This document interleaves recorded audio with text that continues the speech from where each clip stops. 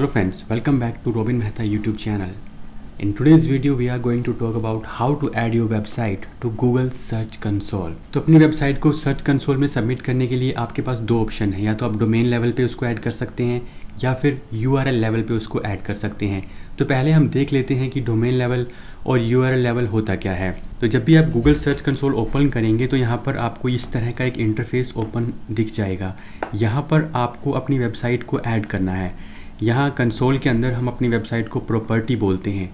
तो यहाँ पर देखिए दो ऑप्शन है, या तो आप डोमेन लेवल पे अपनी प्रॉपर्टी को ऐड कर सकते हैं, या फिर यू प्रीफिक्स के फॉर्म में भी आप उसको ऐड कर सकते हैं। तो सबसे पहले हम देख लेते हैं कि डोमेन और यू प्रीफिक्स का मतलब क्या है। पहले बात करते हैं डोमेन की।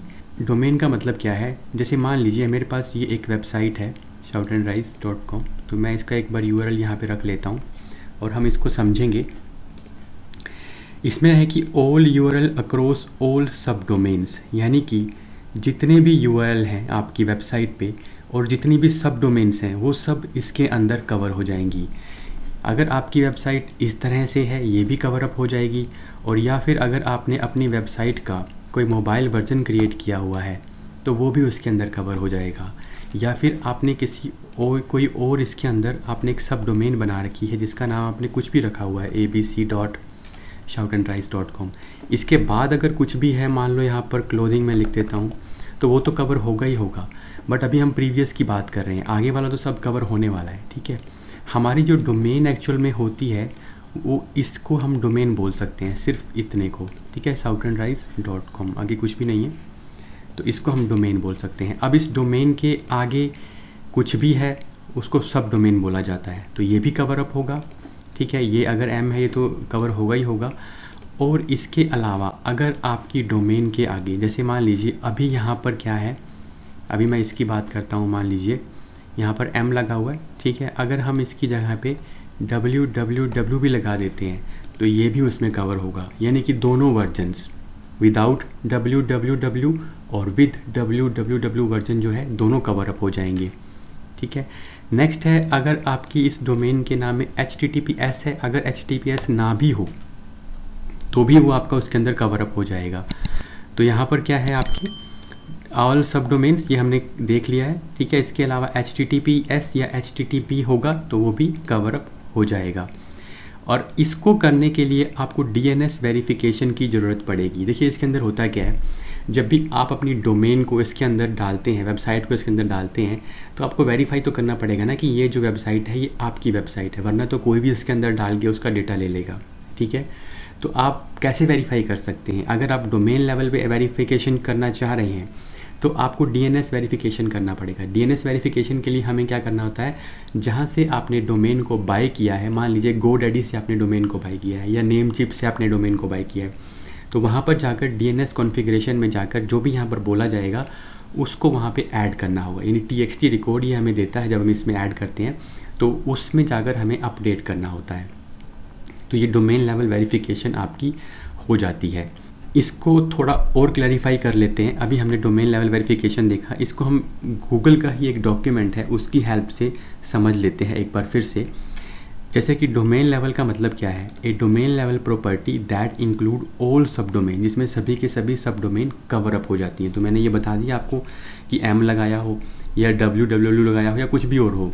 एंड मल्टीपल प्रोटोकॉल्स तो प्रोटोकॉल में अभी हमने दो की बात की थी की थी एच और एच तो एफ़ भी एक प्रोटोकॉल होता है, जिसको आप फ़ाइल ट्रांसफ़र ट्रांसफ़र प्रोटोकॉल बोलते हैं। इसका यूज़ हम किस लिए करते हैं?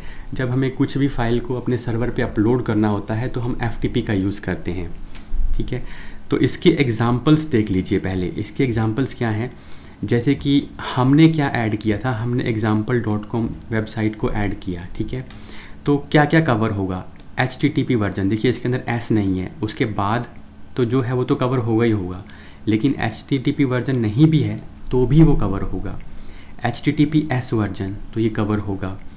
डब्ल्यू डब्ल्यू डब्ल्यू वर्जन तो ये भी कवर होगा। आपकी डोमेन के आगे कुछ सब डोमेन एडिड है, ठीक है? यहाँ पे कुछ भी हो सकता है तो वो भी होगा। यानी कि हर तरह का यूरल बेसिकली डोमेन लेवल में जो है आपका वेरीफाई हो जाएगा। इसका यूज़ क्या है और कौन सा हमें करना चाहिए, वो मैं आगे कवर करूँगा। पहले इस चीज़ को हम एक बार क्लैरिफाई कर लेते हैं। नेक्स्ट है इसके अंदर यू आर एल प्रीफिक्स तो यू आर एल प्रीफिक्स का मतलब क्या है? Only U R Ls under entered address यानी कि आपने जो भी यू आर एल एंटर किया है सिर्फ़ उसके अंडर जितने यू आ रहे हैं, वही कवर होंगे। जैसे कि फॉर एग्ज़ाम्पल मैंने यहाँ पर मान लीजिए, ये मैं एक अपनी वेबसाइट का एक को एग्ज़ाम्पल उठा लेता हूँ, ये हमने उठाया, ठीक है? और इसके आगे आगे अगर मैंने ए बी सी लिख दिया तो ये कवर होगा, ठीक है? या फिर इसके आगे मान लीजिए मैंने एच जी आई लिख दिया तो ये कवर होगा। लेकिन इसका ये मतलब नहीं है कि एच जी आई के बाद अगर कुछ आ रहा है तो वो कवर नहीं होगा। वो भी कवर होगा। बट उसके पहले की जो चीज़ें हैं, उसमें इसने ये एक पाथ फिक्स कर लिया कि एच जी आई तक होगा, उसके बाद कुछ भी हो सकता है। ठीक है? या फिर ए बी सी तक होगा, उसके बाद कुछ भी हो सकता है। तो इसमें क्लैरिटी होनी चाहिए कि हमें जो हमने फिक्स कर दिया है स्लैश के बाद जो एंटर कर दिया है, वहाँ से लेके आगे तक एंटर हो कवर होगा। इसमें मान लीजिए अगर आप ये एंटर नहीं कर रहे हैं तो इस डोमेन के आगे जो भी कुछ आप एंटर करेंगे तो वो सारा कुछ कवर अप हो जाएगा। तो इसके अंदर क्या कवर नहीं होगा? पहले ये देख लेते हैं only U under specified protocol जो प्रोटोकॉल आपने डिफाइन कर दिया, सिर्फ़ वही होगा। मान लीजिए मैंने इसके अंदर H T T P S protocol define किया था तो यही होगा। यानी कि ये क्या कवर नहीं करेगा? ये इसको कवर नहीं करेगा। अगर यहाँ पर हम एस हटा दे देते हैं तो मैंने एस हटा दिया तो ये कवर नहीं करेगा। इसके अलावा सब डोमेन को भी ये कवर नहीं करेगा। मान लीजिए मैंने यहाँ पर एम लगा दिया तो वो भी कवर नहीं करेगा। डब्ल्यू डब्ल्यू डब्ल्यू या नॉन डब्ल्यू मान ली यहाँ पे ये लगा दिया तो वो भी कवर नहीं करेगा। क्योंकि हमने तो कौन सा ऐड किया था? हमने तो ये वाला वर्जन ऐड किया था, जिसमें डब्ल्यू डब्ल्यू डब्ल्यू नहीं है। ठीक है? इसको मैं आपको एक बार फिर से इस डॉक्यूमेंट की हेल्प से आपको समझा दे रहा हूँ कि क्या है ये। तो यू प्रीफिक्स में देखिए include only U with specified prefix including the protocol तो जो प्रीफिक्स आपने डिफाइन कर दिया वही, और साथ में उसका प्रोटोकॉल इसका एग्ज़ाम्पल की हेल्प से क्लियर हो जाएगा ये. तो मान लीजिए मैंने इसके अंदर ये प्रोटो ये जो है एग्जैक्ट यू एंटर किया था, जिसमें एच है एस नहीं है, और एग्ज़ाम्पल डॉट कॉम तो ये तो कवर होगा इसके अंदर. ये एग्जैक्ट मैच कर रहा है, और साथ में ड्रेस ड्रेसिस है वन टू थ्री फोर है. तो ये तो कवर होगा. बट क्या कवर नहीं होगा? एस नहीं होगा, क्योंकि इसके अंदर एस नहीं था, ठीक है? और ये डब्ल्यू डब्ल्यू डब्ल्यू है, वो भी नहीं होगा, क्योंकि हमारे इस वर्जन के अंदर भी ये नहीं था।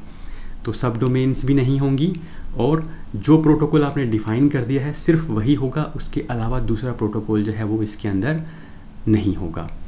तो ये दो लेवल पे हम इसको करते हैं। अब पहले ये देख लेते हैं कि ये वेरिफिकेशन करना कैसे है। तो आज के जो इस पर्टिकुलर वीडियो में हम यूरल लेवल का जो वेरिफिकेशन करेंगे, उसके बाद नेक्स्ट में हम डोमेन लेवल का देखेंगे। तो यूरल प्रीफिक्स के अंदर आपको करना क्या होता है? आपको अपनी वेबसाइट का यूरल कॉपी करना है। ठीक है? और इसको हम क्या करेंगे? यहाँ पर एंटर कर देंगे और कंटिन्यू पे क्लिक करेंगे। तो जब वेरिफिकेशन हम करने वाले हैं तो उसके अंदर हमारे को वेरिफिकेशन के मेथड्स भी पता चलेंगे। ठीक है? तो इसमें हम देख लेते हैं कि कौन कौन से वेरिफिकेशन के मेथड्स हैं। जैसे कि मैंने बोला था कि डोमेन लेवल वेरिफिकेशन अगर आपको करना है तो उसके लिए आपको अपनी डोमेन को एक्सेस करना होगा। यानी कि आपको गोडेडी या नेम चिप जहाँ से भी आपने डोमेन बाई की है, वहाँ पे लॉगिन करना होगा। लेकिन यूरल लेवल वेरिफिकेशन काफ़ी सारे तरीक़ों से होती है। वो एक ही, उसमें एक ही तरीका होता है डोमेन में। यहाँ पर क्या है? काफ़ी सारे तरीके होते हैं जिससे आप अपनी वेबसाइट को जो है वेरीफाई कर सकते हैं। तो वो सारे तरीके हम वन बाय वन देख लेते हैं। जैसे कि पहला इसमें तरीका है HTML फ़ाइल ये रिकमेंडेड मेथड है बट इस मेथड में भी आपको क्या चाहिए? यहाँ पर आपको होस्टिंग का एक्सेस होना चाहिए। होस्टिंग क्या होती है? जहाँ पर आपकी वेबसाइट की सारी फाइलें स्टोर होती हैं। ठीक है? ये डोमेन नहीं है, ये होस्टिंग है। होस्टिंग और डोमेन में कंफ्यूज नहीं होना है, ठीक है? डोमेन का मतलब है कि आपने जहाँ से ये नेम बाय किया हुआ है shout and rise dot com ये आपने नेम बाय किया है।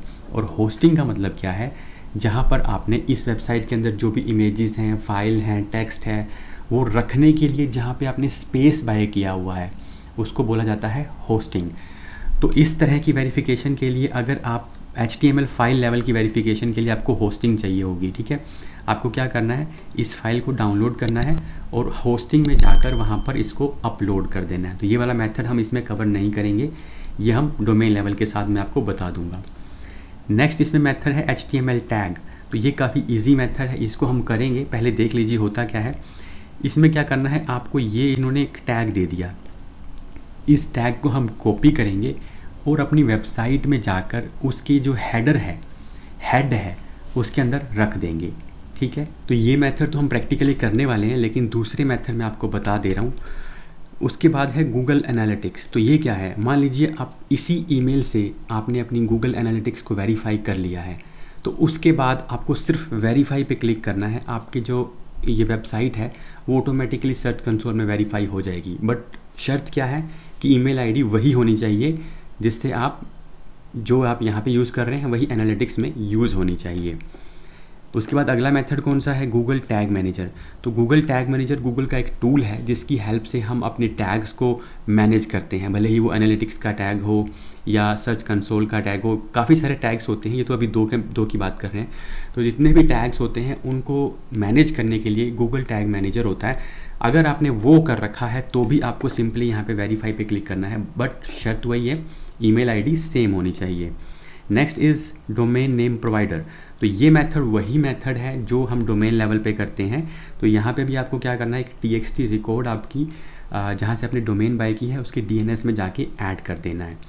तो ये सारे मेथड्स हैं। अब जो ईजीएस्ट मेथड है, जो हमारी वर्ड वेबसाइट में आसानी से हो जाता है, वो है H T M L tag method ठीक है?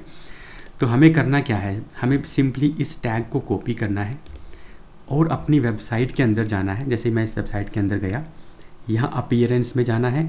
थीम फ़ाइल एडिटर पे क्लिक करना है। तो मोस्टली वेबसाइट्स में आपको ये मिल जाएगा। अगर नहीं मिलेगा तो उसके लिए मैं एक अलग मेथड आपको बता देने वाला हूँ।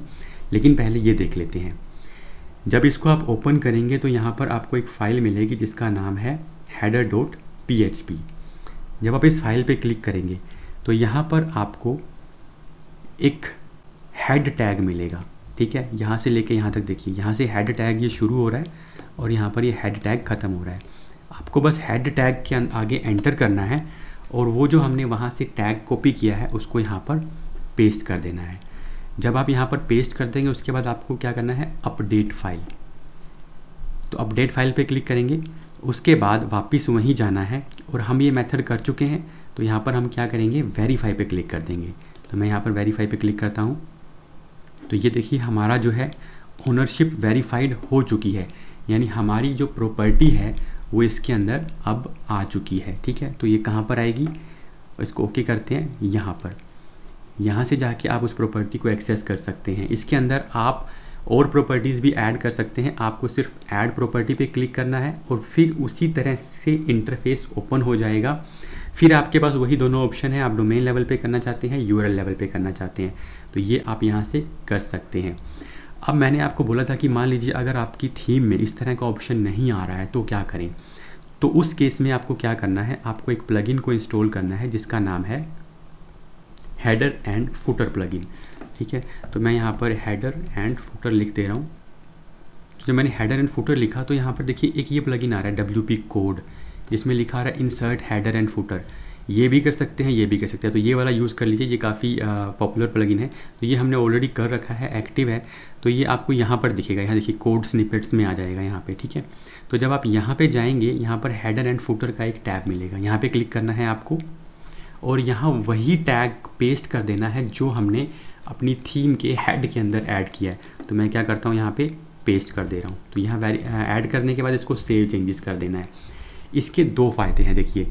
एक फ़ायदा तो ये है कि मान लीजिए आपकी वेबसाइट में वो आपको कोडिंग में नहीं जाना पड़ेगा, ठीक है? जो थीम की कोडिंग उसके साथ छेड़छाड़ नहीं करनी है। दूसरा ये है कि जब भी आपकी थीम अपडेट होती है तो कई बार ये जो वेरिफिकेशन है, ये चला जाता है, ठीक है? तो उस पर्टिकुलर केस के लिए आप अलग से जब प्लगइन ऐड करके ऐड करेंगे तो आपका जो है जब थीम अपडेट होगी तो भी वेरिफिकेशन जो है, वो कैंसिल नहीं होगा। इसके अलावा एक और फ़ायदा क्या है? जितने भी वेरिफिकेशन आपको करने हैं काफ़ी तरह के हेड में आपको कोड पेस्ट करने पड़ते हैं आगे। तो वो सभी के सभी आप यहाँ हेडर में जाकर पेस्ट कर सकते हैं। ठीक है? तो ये सारे इसके बेनिफिट्स हैं। तो ये दो मेथड्स मैंने आपको यूरल के अंदर ही बता दिए हैं। एक तो क्या है? आप थीम से अपडेट कर सकते हैं, दूसरा हेडर एंड फूटर से कर सकते हैं। इसके अलावा जो मेथड्स हैं, जैसे एनालिटिक्स का गूगल टैग मैनेजर का तो वो दोनों होने चाहिए अलग से। तो उसमें कुछ भी ऐड नहीं करना, बस आपको वो दोनों अगर काम कर रखे हैं आपने तो हो जाएगा। और तीसरा जो है वो डोमेन के साथ ही है, वो हम डोमेन वाला नेक्स्ट वीडियो में कवर करेंगे। और जो है फ़ाइल अपलोड करने वाला वो भी हम कवर कर लेंगे नेक्स्ट में, ठीक है? तो अब नेक्स्ट क्या है? तो अब नेक्स्ट है कि कौन सा वेरिफिकेशन मेथड करना चाहिए? जैसे मान लीजिए मैं यहाँ पर ऐड प्रॉपर्टी पे क्लिक करता हूँ, मुझे एक नई प्रॉपर्टी ऐड करनी है। तो मुझे कौन सा मेथड यूज़ करना चाहिए? डोमेन वाला या यूरल प्रीफिक्स वाला? तो यहाँ पर थोड़ा सा समझ लीजिए कि डोमेन और यूरल में डिफरेंस क्या है, यानी कि जो आपको डाटा डिस्प्ले होने वाला है आगे, उसमें क्या डिफरेंस है? जब आप डोमेन लेवल पे वेरिफिकेशन करेंगे तो जितने भी यू होंगे, भले ही वो सब डोमेन के अंदर हो ठीक है, जब भले ही वो H T T P H non H T T P S हो तो ये तो वैसे केस नहीं होता है H T T P non H T T P S क्योंकि हमें एक पे ही करना होता है H T T P S ही करते हैं, क्योंकि एच टी टी पी तो आजकल आप करेंगे तो गूगल आपको क्रोम आपको एरर दे देगा। लेकिन हम बात कर लेते हैं कि सब डोमेन्स की। तो अगर आपको पूरा डेटा एक ही जगह पर चाहिए ठीक है? तो आप डोमेन लेवल प्रॉपर्टी का यूज़ कर सकते हैं। मान लीजिए मैंने शाउट एंड राइस को ऐड किया और मेरे पास इसके अंदर कोई और सब डोमेन भी है M dot shout and rice dot com ठीक है? तो अगर मैं वो पूरा डेटा यहीं पर देखना चाह रहा हूँ तो मैं क्या करूँगा? मैं डोमेन लेवल का यूज़ करूँगा। या मान लीजिए मैंने शाउट एंड राइस के बाद स्लैश करके ब्लॉग लिखा हुआ है और सारा, हम ब्लॉग पब्लिश करते हैं कंटिन्यूसली मुझे पूरा ब्लॉग का डेटा भी एक ही जगह पे चाहिए जहाँ पर मैंने डोमेन ऐड किया। तो वो सब अगर एक ही जगह चाहिए तो आप डोमेन लेवल वेरिफिकेशन का यूज़ कर सकते हैं। अगर आपको कोई मान लीजिए मैंने अपनी वेबसाइट में हिंदी का ऐड करना है तो या तो मैं सब डोमेन के लेवल पे ऐड कर सकता हूँ, या मैं सब डायरेक्टरी के लेवल पे भी ऐड कर सकता हूँ। मान लीजिए मैंने यहाँ पे ये करने के बाद यहाँ पर एचआई कर दिया। ठीक है? और इसके अंदर एचआई के अंदर आपने पूरा डेट जो आपका कंटेंट है वो हिंदी के अंदर है। ये न्यूज़ वेबसाइट्स के अंदर आपको देखने को मिलता है मोस्टली ठीक है? तो अब इस यूआरएल को मैं क्या कर सकता हूँ? मैं यूरल प्रीफिक्स के अंदर ऐड कर सकता हूँ। तो अब मुझे ये इसके बाद का ही डेटा देगा। ठीक है? मान लीजिए यहाँ पर मेरी इंग्लिश इंग्लिश वेबसाइट है और अगर यहाँ पे एच आई कर देता हूँ तो हिंदी है। तो अगर ये ऐड कर दिया तो जो हिंदी वेबसाइट का पूरा जो डेटा है वो यूरल प्रीफिक्स में आएगा। यानी अगर आपको कुछ अलग करना है, ठीक है? तो आप इसमें भी कर सकते हैं। तो सिर्फ़ स्पेसिफिक के लिए यूरल यूज़ कीजिए और सभी के लिए डोमेन यूज़ कर लीजिए। अगर आप डोमेन के अंदर जाके वो डीएनएस वेरिफिकेशन में नहीं जाना चाहते तो आप क्या कीजिए? आप इसको हटा दीजिए। और मान लीजिए आपके पास कोई सब डोमेन भी नहीं है तो इसको यूज़ कर सकते हैं आप। जैसे नॉर्मली ऐसा ही होता है। हम सब डोमेन वगैरह कम यूज़ करते हैं, या फिर सब डायरेक्टरी वगैरह कम यूज़ करते हैं। तो यूरल प्रीफिक्स मेथड यूज़ कीजिए, क्योंकि इसके अंदर सब कुछ ही कवर हो जाएगा। क्यों हो जाएगा? क्योंकि नॉन एच वर्जन तो हमें यूज़ करना ही नहीं है क्योंकि हमारी वेबसाइट सिक्योर नहीं रहेगी ठीक है? और डब्ल्यू डब्ल्यू डब्ल्यू वर्जन भी जो है हमारा हमारा जो है एक ही यूरल पे रिडायरेक्ट होना चाहिए क्योंकि गूगल दोनों को अलग अलग कंसिडर करता है। तो एक यूरल पे ही रिडायरेक्ट होगा तो इसमें आपका सब कुछ कवर हो जाएगा। तो यूरल प्रीफिक्स वाला मेथड आप आसानी से कर सकते हैं ठीक है? लेकिन अगर डोमेन का करना है तो डोमेन वाला भी हम इसके अंदर कवर अप करेंगे। तो आई होप आपको ये आ, अपनी वेबसाइट को कंसोल में कैसे ऐड करना है ये क्लियर हो गया होगा। तो फिर भी अगर आपको कोई डाउट है तो आप कमेंट में पूछ सकते हैं। आपसे मिलते हैं नेक्स्ट वीडियो में।